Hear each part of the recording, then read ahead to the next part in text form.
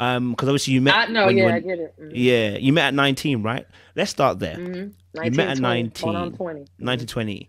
What were you doing at the time, and what was he doing at the time? Just kind of, I know roughly what it is, but let's just build Yeah. up that story a little bit. You're right. Let me go ahead and tell you. So, um, I was playing basketball at Albany State University. It was my first year, but it was my second year in college.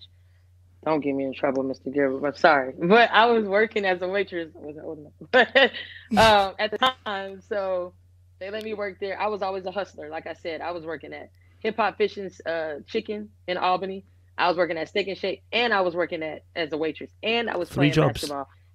Hold on, and I was playing basketball. Watch this, and I was running track, and I was on scholarship.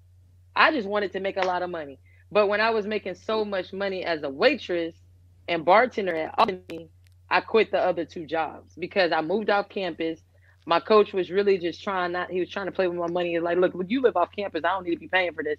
So I was like, okay, don't worry about it. If you play with my money, then we're gonna have a problem. So my dad always put work into me, but I was doing that. I was working as a waitress and a bartender one night.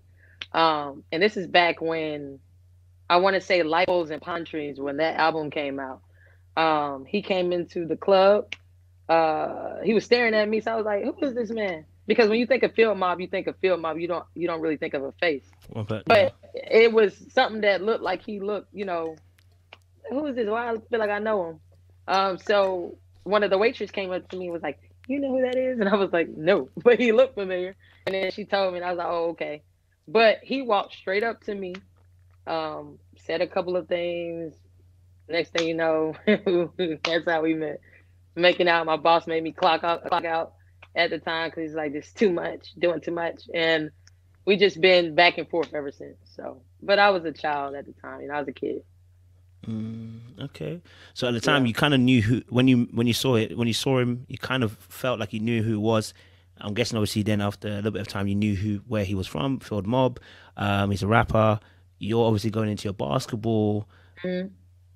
And he Did would this- come to the it- games. I, th- I, just, I mean, I'm just gonna Okay. be real with you. Like, Yeah, go for it. we were please. talking. He would come to the practices, came to a few games, and think about it. Like, I'm 19, 20 years old. Like, I'm like, wow, he's really coming to my game, supporting me. Mm. You know what I mean?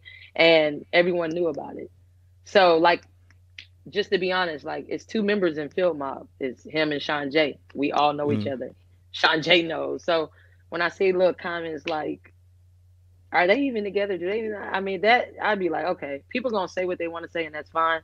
But I feel like that's who I knew back then. Of course, I felt like there was stuff, you know, just because he was a little older than me. So we were never at the time when we first met just boyfriend and girlfriend. That came later, maybe a year later or something like that. But we were kind of exclusive or whatever. But it was just on and off. And I didn't trust the road trip. We would warm up to Field Mob. So I'm in there, you know, warming up to my dude's music, getting hyped for games. So it is what it is. But I like to say, I like to make it a point, like, regardless, at the end of the day, if you're from Atlanta, if you're from Georgia, people know who they are. It's not no like who is this? People looking, you know, making jokes. I get it. It's funny sometimes, but that is how we met. That's the truth of how we met. Go to Albany, They're gonna tell you about Lexi, or they'll tell you about him, like, or they'll tell you about Shawn Jay, or they'll tell you about Ricardo Lockette, or they tell you know, if you come from Albany, it's like they pretty much claim me like I'm theirs. Like she from Albany, you know what I mean? so it's like if you from Albany, it's just I don't know. It is It's, what it's it a standout thing. Yeah. Okay. So okay, so fantastic. You've kind of given us a bit more foundation. We can kind of get a bit more understanding. So 19, he comes to your games. I know he's slightly older. It is what it is. Listen, we've all been young, so It is um what it is. and uh, and then okay, so then you said obviously you didn't kind of make it. I'm guessing you didn't become official into like a year later. So no, I guys? say that because oh, we tried to be boyfriend and girlfriend. Something didn't sit right with me because the girls at the job was telling me stuff, and I worked at a club. So I was like, man, f this. So then we just kept dating. Um, then we put a title on it again. It was just a lot of back and forth um, for a long time. Um, but the difference is, and that's why I get passionate when I do speak about it. I was 19, 20 years old. mm, The person I was then is not even the person who I was when I found No. myself after I graduated, after I went overseas and dealt with different people, after I you know, was understanding who I was as a person. After I'm a businesswoman now, like that's what it is. Okay, no, I get that. I get that. So, how that first stint? How long before you guys?